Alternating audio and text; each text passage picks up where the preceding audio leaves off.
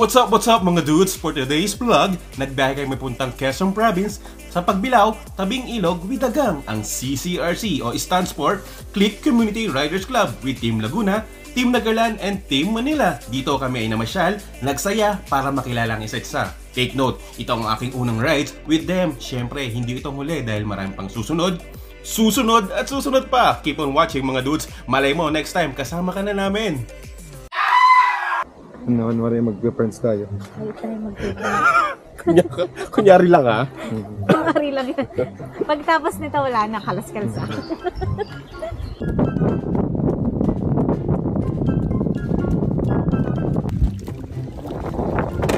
sorry sir. Sorry, sorry, sorry. Sorry.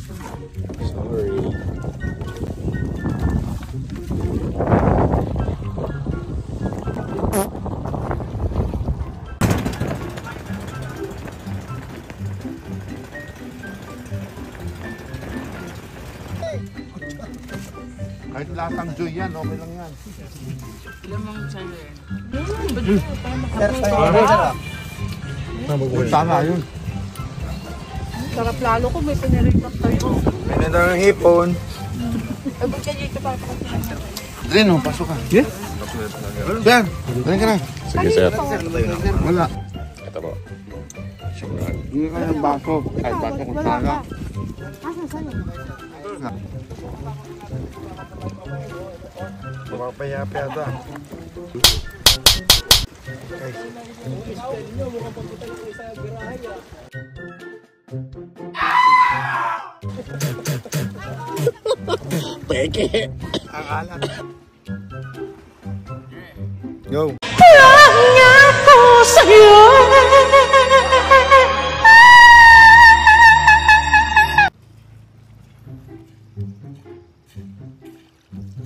이거.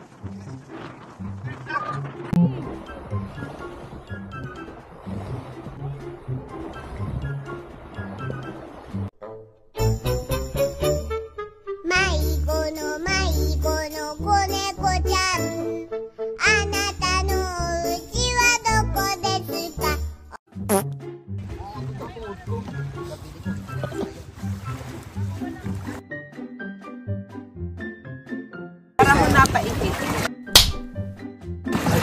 Uy, madulas ka sana, boss. Paano yung sa ano ko, sinelas? Hi! US! Hindi ba yan?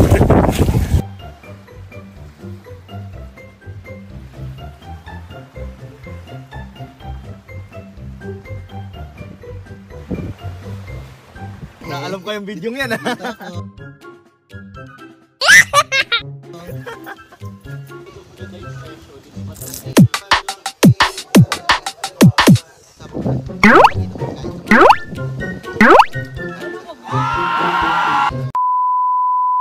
Sa unang araw na aming pagkikita-kita sa Kalamba at 4am, which is our call time. Take note, ako ang nauna doon dahil excited ako bilang bagong miyembro ng grupo. Hahaha. Para makilala at makasalumuho agad sila. At isa-isa na nga nagsidatingan ng iba, hindi kami umalis hanggat hindi na kukomplento ang lahat ng miyembro na kasama sa biyahe. Girap at 5am. At syempre, bago kami umalis, humingi muna kami ng gabay for our safety. Maulan ang daan kaya kailangan doble ingat.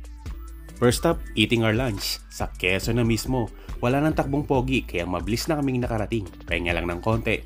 Tapos larga na. After 10 minutes, biyahe na ulit papunta sa aming destinasyon. Mula sa aming drop-off point, kami ngayon ay sasakay ng bangka mula sa daungan papunta ng isang isla. Kung saan, ang tabing Ilog Beach ay naroon. Tara at libutin natin ang Pagbilao Island.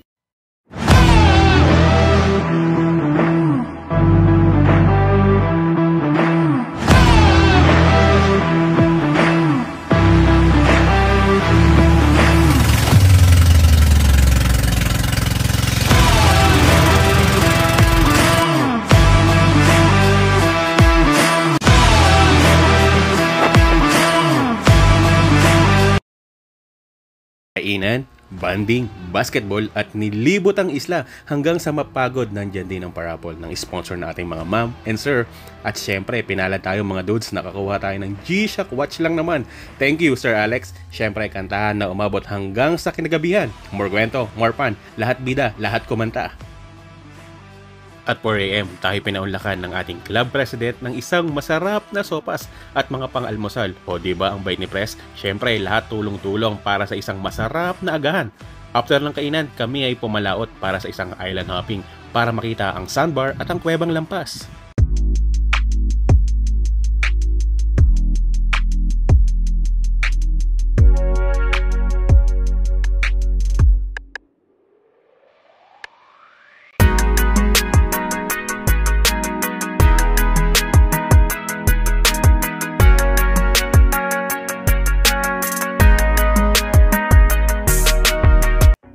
Bilang isang bagong miyembro ng isang grupo, importanteng marunong kang makisama, makihilubilo at makisaya sa pamagitan ng simpleng pakikipag-usap at pakikipagbiruan. Sa dalawang araw na aming pagsama-sama mula umpisa kung kailan kami ay nagkakainanlan at sa huling araw nang kami pauwi na. Ang saya at ang kulitan ay panibagong dagdag experience na ibabaon mo hanggang sa pag-uwi. Maraming salamat sa panonood. Kita-kit ulit sa aking next video mga dudes. At huwag kalimutang i-click ang notification bell at i-likes na rin para updated kayo sa aking susunod na biyahe. Hajos!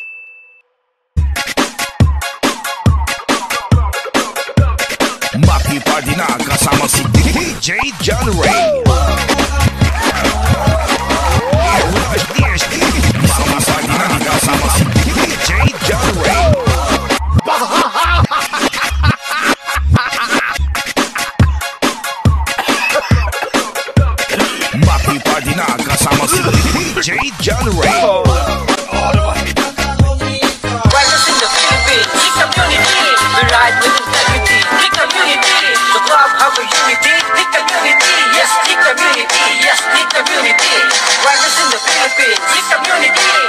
We ride with integrity, the community. The club a unity, the community. Yes, the community. Yes, the community.